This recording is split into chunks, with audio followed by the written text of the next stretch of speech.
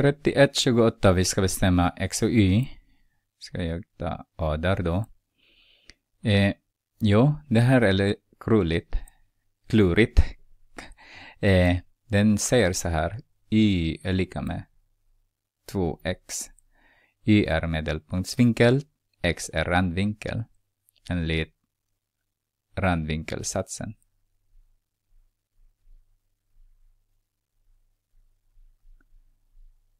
Men randvinkelsatsen säger att det måste vara samma cirkelbåge.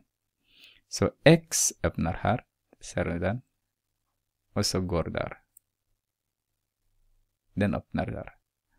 Så det betyder att medelpunktsvinkel på x är den här. Därför de har samma cirkelbåge. Inte y, därför att y har inte samma cirkelbåge som x. Så att vi har 200 är lika med. Kanske jag kan, jag kan ändra den här därför att de använder x och y. kan använda den här. Eh, v är lika med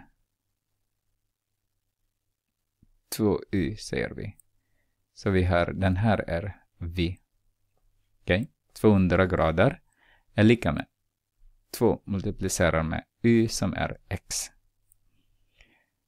Så här dividerar vi med 2, dividerar med 2.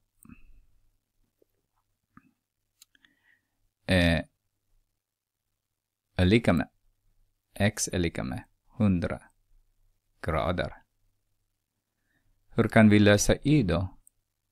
Ja då, y är lika med eh, 360 grader subtraherar med 200 grader. Vilken motivering har vi nu då? Um, uh, ett varv ser vi. Varv är 360 grader. Kan vi använda den som motivering? Så att y är lika med 60 grader. Tar B. B. Eh, ja då. Eh, det måste vara x är lika med 25. Här, den här är lika med den här. Hur vet vi det? Jo då, alla randvinklar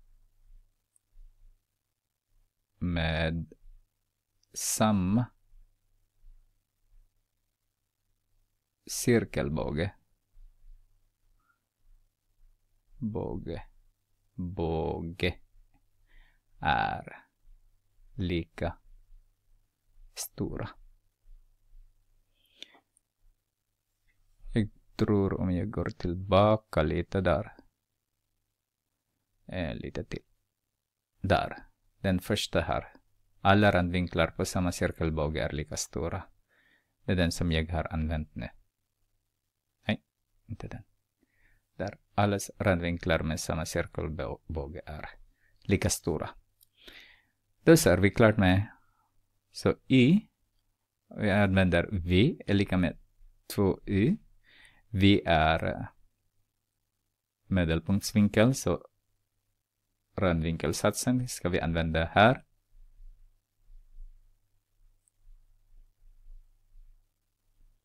Vår v är y och vår randvinklar, randvinkel är 25, alltså x.